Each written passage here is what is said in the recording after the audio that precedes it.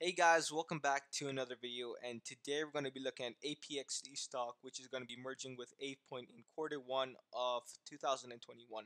So I did buy this stock right around in the end of November for $10.80 around 150 shares. Um, actually I bought like 250 shares but I cut down some of my shares and the stock basically exploded to $16 um, back at the uh, start of December, and ever since then it's kind of like drifted down a bit to the 13 range, went a bit to the 14 range, and as you can see, this range acted as a resistance. Um, and now it's currently trading at 14.71, and I do believe there's a breakout coming for APXT stock, and this stock could gain a lot of momentum and go towards the 20s. And in fact, if I'm going to show you guys the investor presentation, um, right after this part, and I do believe this stock is gonna go five to ten times in the next five years.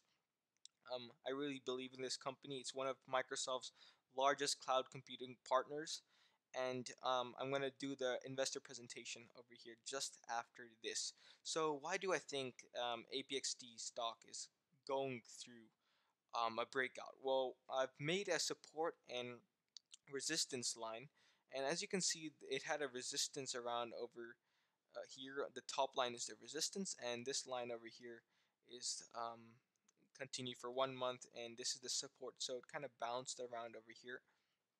And as you can see there was like around one bounce over here and um, a resistance over here. And as you can see here these two lines crossed and the MACD is showing right now that it's about to go above the yellow line and this line could go a bit like this parabolic and actually explode up and as you can see this breakout has happened obviously does depend on other SPACs and the momentum of these SPACs altogether and basically the market sentiment on these SPACs and the general market but as things go perfectly fine and as we get closer to the merger date in Q1 of 2021 I do expect the stock to go up and especially uh, by seeing this breakout happening right now.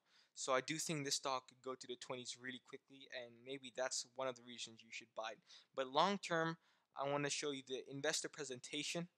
Um, it's on their website actually. You can go to the investor relations, but I'm going to present this for you guys because I'm a nice guy. Uh, so the uh, CEO's name is Jeffrey Epstein. Just kidding, it's Jeff Epstein. Uh, pretty funny, right? Um, so these people, these both people, the co-CEO and the CEO, these guys are uh, quite talented people and they have a lot of experience um, and they have served in many boards including Oracle, Nielsen, and investment banking M&A. And this guy has worked in uh, Goldman Sachs as the head of technology in investment banking. So this guy is um, pretty good as well, and he's worked for SAP, Microsoft, eBay, and Dell. So this is the management of this company. But what really interests me about this company is this is a bit of a summary, but it really has an attractive valuation right now. The company is valued at two billion at the starting price of ten dollars. As you can see, it's at fourteen dollars right now, so forty percent higher than that. Um, let's just go through some of the things.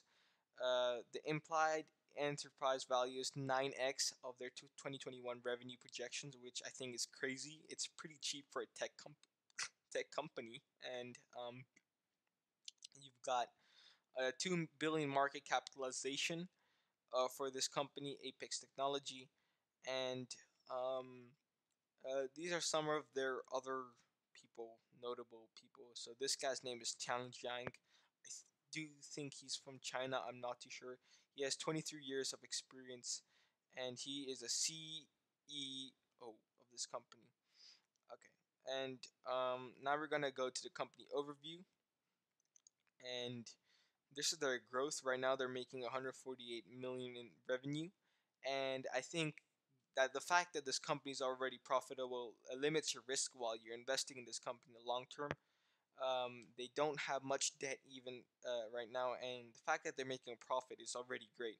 A lot of these companies like Uber and stuff are still not making profit, and that's why we struggle to consider the li- risks and limitations behind these companies. So, um, Satya Nadella, the Dell CEO of Microsoft, said we have seen two years worth of digital transformation in two months. So Microsoft really likes this company, and that's why Microsoft has partnered with Apex Technologies. Um, so this is some of the stuff they do. Uh, you can read this uh, by yourself um, in your own time and do your own due diligence. I'm just going to quickly go down, down, down, down, down, down, down. So this is their projections. Actually, they think it's a 1.8 trillion dollar market by 2022, and um, they have uh, like the revenue right now is 148 million. Um, and they think in the future they can get 500 million. And um, these are some of their other partners they can work with diversified blue chip base, all these companies, high technology, financial services, and even communications. So uh, the revenue can basically come in all these ways and grow like this, but their financials is the most impressive part. So this is what I was talking about, guys. Right now, um, this is the quarter 75 million, 78 million, 85 million, 90 million, and uh, 95 million and 101 million in quarter 2 2020. So as you can see, it's been a steady growth and it's been growing every single quarter, which is very nice.